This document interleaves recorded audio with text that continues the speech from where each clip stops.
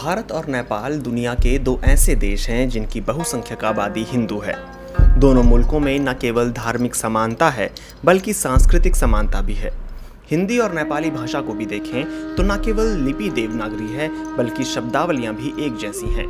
जो हिंदी जानता या पढ़ता है, वो थोड़ी बहुत नेपाली भी पढ़ और समझ सकता है। तकिया कलाम की तरह एक बात अक्सर कही जाती है कि नेपाल और भारत के बीच बेटी रोटी का रिश्ता है। नेपाल की सीमा तीन तरफ़ से भारत से जुड़ी है और एक तरफ़ तिब्बत की सीमा लगती है। इतना कुछ होने के बावजूद नेपाल और भारत के रिश्ते आजकल ठीक नहीं हैं। प्रधानमंत्री नरेंद्र मोदी ने पिछले कार्यकाल में चार सालों के भीतर नेपाल के तीन दौरे किए थे। मोदी का तीसरा नेपाल दौरा मई 2018 में था। तीसरे दौरे में मोदी ने नेपाल से रिश्ते दुरुस्त करने में धार्मिक रास्ते का सहारा लिया था। इस दौरे में मोदी सीधे जनकपुर गए और फिर मुक्तिनाथ। ये दोनों जगहें हिंदू धर्मावलंबियों के लिए अहम हैं। जनकपुर के मंदिर में पूजा करने के बाद मोदी काठमांडू गए थे। पहले के दौरे में भी मोदी पशुपतिनाथ मंदिर गए थे। ज़ाहिर है कि मोदी जब नेपाल के मंदिरों में जाते होंगे तो उनके मन में दोनों देशों में व्यापक स्तर पर धार्मिक पहचान की समानता रहती होगी। इसके बावजूद मोदी सरकार में नेपाल से रिश्ते कई मामलों में ऐतिहासिक रूप से खराब हुए हैं। आखिर ऐसा क्यों है? इस सवाल का जवाब जानने के लिए और दूसरे कई मुद्दों पर दू होना। क्या मायने रखता है? क्या इससे संबंधों में गर्मजोशी आती है? इस सवाल पर प्रदीप ग्यावली कहते हैं कि भारत और नेपाल में कई स्तरों पर समानता है। सांस्कृतिक समानता दोनों देशों के संबंधों को मज़बूत बनाने वाली सबसे अहम कड़ी है। दोनों देश एक गौरवशाली सभ्यता का प्रतिनिधित्व करते हैं और इससे समृद्ध ज्ञान परंपरा रही है। आयुर्वेद, योग, ज्योतिष, भारत और नेपाल दोनों देशों के लिए समान है। दोनों देशों की साझी संस्कृति लोगों के बीच के आपसी संबंधों को मज़बूत बनाती है। नेपाल और भारत के संबंधों में कभी कभार उतार चढ़ाव भी आते हैं, लेकिन सांस्कृतिक संबंध की जड़ें बहुत गहरी हैं। इसलिए दोनों देशों के लोगों के बीच संबंध में गर्मजोशी बनी रहती है। लेकिन हमें इस बात को समझने की ज़रूरत है कि संस्कृति और धर्म का घालमेल नहीं करना चाहिए। धर्म और संस्कृति दोनों अलग अलग पहलू हैं। धर्म व्यक्तिगत आस्था का विषय होता है। यह बिल्कुल निजी होता है। मेरा मानना है कि धर्म को ना तो देश के आंतरिक मामले में लाना चाहिए और ना ही दूसरे देश के साथ संबंधों के बीच में लाना चाहिए। 2008 में नेपाल में जब राजशाही लंबे आंदोलन के बाद खत्म हुई तो लोकतंत्र स्थापित हुआ और संविधान बनने की प्रक्रिया शुरू हुई। सितंबर 2015 में नेपाल ने अपना नया संविधान लागू किया और इसमें नेपाल को सेक्युलर स्टेट बताया गया। ऐसा तब हुआ जब भारत में एक हिंदुत्ववादी विचारधारा वाली पार्टी के पोस्टर बॉय माने जाने वाले नरेंद्र मोदी की सरकार थी। 26 मई 2006 को बीजेपी के तत्कालीन अध्यक्ष राजनाथ सिंह ने कहा था कि नेपाल की मौलिक पहचान एक हिंदू राष्ट्र की है और इस पहचान को मिटने नहीं देना चाहिए। बीजेपी इस बात से खुश नहीं होगी कि नेपाल अपनी मौलिक पहचान माओवादियों के दबाव में खो दे राजशाही के दौरान नेपाल एक हिंदू राष्ट्र के तौर पर जाना जाता था। तब नेपाल दुनिया का एकमात्र हिंदू राष्ट्र था। नेपाल के बारे में कोई और फैसला तो कर नहीं सकता। 2015 में हमारे लिए बहुत ही विकट स्थिति थी। नेपाल में संविधान लागू करने की प्रक्रिया चल रही थी और कुछ मसले भी थे। इसी दौरान भारत की तरफ़ से नाकाबंदी हुई, समस्याएँ बढ़ीं, लेकिन बाद में दोनों देशों ने इस परिस्थिति की समीक्षा की। इससे सबक लिया और आगे बढ़ने का फैसला किया। भारत का सीमा विवाद अब तक मुखर रूप से चीन और पाकिस्तान के साथ था। सीमा विवाद को लेकर ही दोनों मुल्कों से भारत की जंग भी हो चुकी है। लेकिन मोदी सरकार के कार्यकाल में नेपाल के साथ भी सीमा विवाद उसकी आक्रामकता से उभर कर सामने आया। इसी साल 8 मई को भारत के रक्षा मंत्री राजनाथ सिंह ने धारचूला से चीन की सीमा लिपुलेख तक एक सड़क का उद्घाटन किया था। नेपाल का दावा है कि सड़क उसके क्षेत्र से होकर गई है। अभी यह इलाका भारत के नियंत्रण में है। इससे पहले पिछले साल नवंबर महीने में भारत ने जम्मू कश्मीर के विभाजन के बाद अपने राजनीतिक मानचित्र को अपडेट किया था, जिसमें लिपुलेख और काला पानी भी शामिल थे। नेपाल ने इसे लेकर कड़ी आपत्ति जताई और जवाब में अपना भी नया राजनीतिक नक्शा जारी किया। नेपाल ने लिपुलेख और काला पानी को नेपाल में दिखाया। नेपाल के रक्षा मंत्री ईश्वर पोखरेल ने राइजिंग नेपाल को दिए इंटरव्यू में यहाँ तक कह दिया कि अगर ज़रूरत पड़ी तो नेपाल की सेना लड़ने के लिए तैयार है। काला पानी में इंडो तिब्बत बॉर्डर पुलिस की भी तैनाती है। पूरे विवाद पर भारत के सेना प्रमुख जनरल मनोज नरवड़े ने कहा था कि नेपाल सरहद पर चीन की शह में काल्पनिक दावा कर रहा है। जैसे पाकिस्तान कहता है कि कश्मीर का मुद्दा सुलझाए बिना भारत के साथ रिश्ते सामान्य नहीं हो सकते, क्या उसी तरह से अब नेपाल को भी लगता है कि काला पानी और लिपुलेख का विवाद सुलझाए बिना नेपाल भारत के रिश्तों से कड़वाहट नहीं जाएगी? इस पर नेपाल के विदेश मंत्री कहते हैं, देखिए, नेपाल और भारत के बीच जो सीमा विवाद है, उसे तो सुलझाना ही होगा। जब तक ये सुलझ नहीं जाता है, तब तक हमें ये मुद्दा परेशान करता रहेगा। इस समाधान के बिना संबंध, विश्वास और समस्या रहित नहीं बन सकता। इतिहास के अनसुलझे सवाल जो हमें विरासत में मिले हैं, उन्हें बातचीत के ज़रिए सुलझाना ही होगा।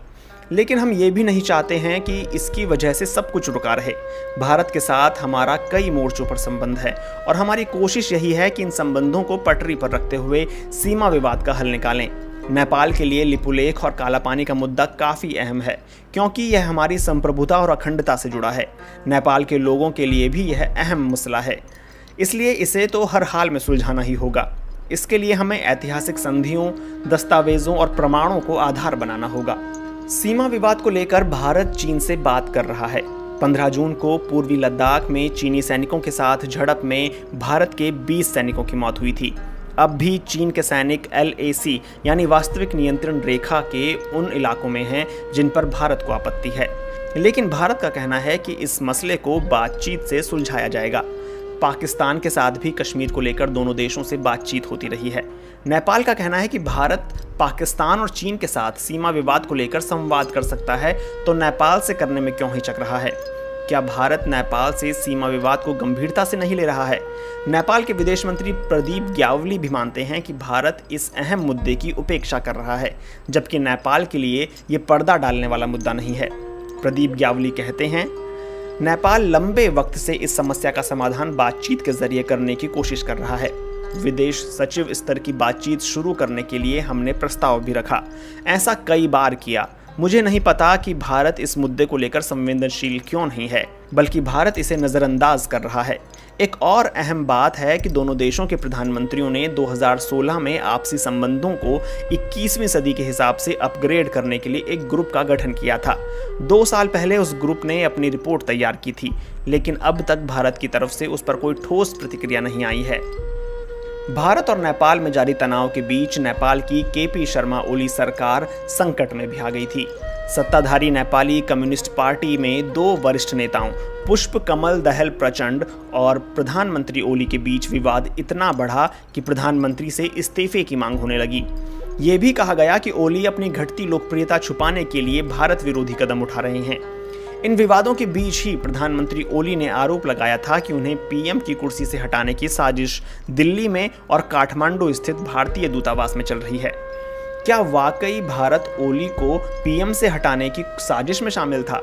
नेपाल के विदेश मंत्री इस पर कहते हैं, मेरा मानना है कि प्रधानमंत्री ओली भारत से होने वाली न्यूज़ कवरेज की बात कर रहे थे। जिस तरह की न्यूज़ कवरेज हो रही थी, वो बहुत अपमानजनक थी। किसी भी देश के आंतरिक मामलों में या वहाँ की सरकार में आए तात्कालिक संकट को लेकर ऐसी बातें कैसे की जा सकती हैं? जिस तरह की बातें की जा रही थी, वो बहुत ही आपत्तिजनक थी। दूसरे देश की मीडिया या वहाँ के कथित बुद्धिजीवी वर्ग यह तय नहीं करेंगे कि नेपाल की विदेश नीति क्या होगी और हम किससे संबंध रखेंगे। नेपाल की विदेश नीति कोई दूसरा या तीसरा देश तय नहीं कर सकता है। नेपाल और भारत के संबंधों में दोस्ती या कड़वाहट की बात आती है तो चीन का ज़िक्र ज़रूर होता है। नेपाल तीन तरफ़ से भारत से घिरा हुआ है और एक तरफ़ से तिब्बत से सीमा लगती है। ज़ाहिर है, तिब्बत अब चीन के ही नियंत्रण में है। इस लिहाज से नेपाल एक लैंड लॉक्ड देश है। भारत से संबंध बिगड़ने पर नेपाल को अतीत में नाकाबंदी का भी सामना करना पड़ा है। ऐसी नाकाबंदी से नेपाल में मानवीय संकट पैदा हो जाता है। क्योंकि खाने पीने की ज़रूरी चीज़ों की भी किल्लत हो जाती है। ऐसे में नेपाल चाहता है कि वो भारत पर निर्भर नहीं रहे। इसके लिए ज़रूरी है कि वो चीन से भी ट्रांजिट सेवा को सुगम बनाए। नेपाल और चीन ने पिछले कई सालों में इसे विकसित भी किया है। दूसरी तरफ़, भारत और चीन के रिश्ते ठीक नहीं रहते। ऐसे में भारत को लगता है कि नेपाल और चीन की बढ़ती नज़दीकी उसके लिए खतरनाक हो सकती है। चीन के लिए नेपाल बहुत छोटा है और गरीब मुल्क है। उसके बावजूद चीन द्विपक्षीय संबंधों में नेपाल को काफ़ी प्राथमिकता देता है। भारत को लगता है कि यह तवज्जो उसके खिलाफ है। पिछले साल अक्टूबर में चीन के राष्ट्रपति शी जिनपिंग भारत के दौरे पर आए तो वो नेपाल भी गए। कई लोग कहते हैं कि नेपाल भारत को ब्लैकमेल करने के लिए चीन का इस्तेमाल करता है। कुछ लोग यह भी कहते हैं कि नेपाल लैंड लॉक्ड देश है और इसका फ़ायदा भारत उठाता है। दोनों में कितनी सच्चाई है? इस पर प्रदीप ग्यावली कहते हैं यह बिल्कुल सच बात है कि नेपाल लैंड लॉक्ड देश है। यह एक तथ्य है कि लैंड लॉक्ड देश को उसकी कीमत चुकानी पड़ती है। ऐसे देशों का ट्रांजिट ट्रांसपोर्टेशन महँगा होता है। ऐसे में उत्पादन लागत ज़्यादा लगती है। विश्व बाज़ार की प्रतिस्पर्धा में वैसे देशों को मुश्किलों का सामना करना पड़ता है। इसीलिए ट्रांजिट सुविधा हमारे लिए प्राथमिकता है। ये लैंड लॉक्ड देश का अधिकार भी होता है। हम नहीं चाहते हैं कि अपनी भौगोलिक स्थिति के कारण पीछे रह जाएँ। हम यह भी चाहते हैं कि किसी एक मुल्क पर निर्भर ना रहें। हम पारस्परिक निर्भरता के पक्ष में हैं। इसीलिए हम कोशिश कर रहे हैं कि नेपाल की ट्रांजिट सुविधा में विविधता और विस्तार हो। भारत के माध्यम से हम इस सुविधा का इस्तेमाल करते रहे हैं। हम अब चीन के साथ ट्रांजिट सुविधा बढ़ाने की कोशिश कर रहे हैं। यह नेपाल की राष्ट्रीय ज़रूरत है। मुझे नहीं लगता कि इस मामले में कोई देश अनुचित लाभ लेना चाहता है। हम भारत और चीन दोनों के साथ विकास यात्रा में जुड़कर आगे बढ़ना चाहते हैं। पड़ोसी देशों में हो रहे विकास और समृद्धि को हम अपने लिए एक अवसर की तरह देखते हैं। मुझे लगता है कि हमारे पड़ोसियों को भी यह समझना चाहिए कि एक समृद्ध नेपाल उनके हित में है। 15 मई को भारत के सेना प्रमुख जनरल नरवड़े ने एक ऑनलाइन सेमिनार में कहा था कि लिपुलेख पास पर लिंक रोड निर्माण को लेकर नेपाल की आपत्ति किसी और की शह पर है। इसके पर्याप्त कारण हैं, जिनसे समझा जा सकता है कि नेपाल किसी और की शह पर आपत्ति जता रहा है। ज़ाहिर है, वो शह चीन की है। भारत के सेना प्रमुख के इस बयान पर नेपाल में कड़ी प्रतिक्रिया जताई गई। नेपाल के प्रधानमंत्री के पी शर्मा ओली ने संसद में भारत को आड़े हाथों लिया। उन्होंने नेपाल में कोविड 19 के लिए भी भारत पर हमला बोला।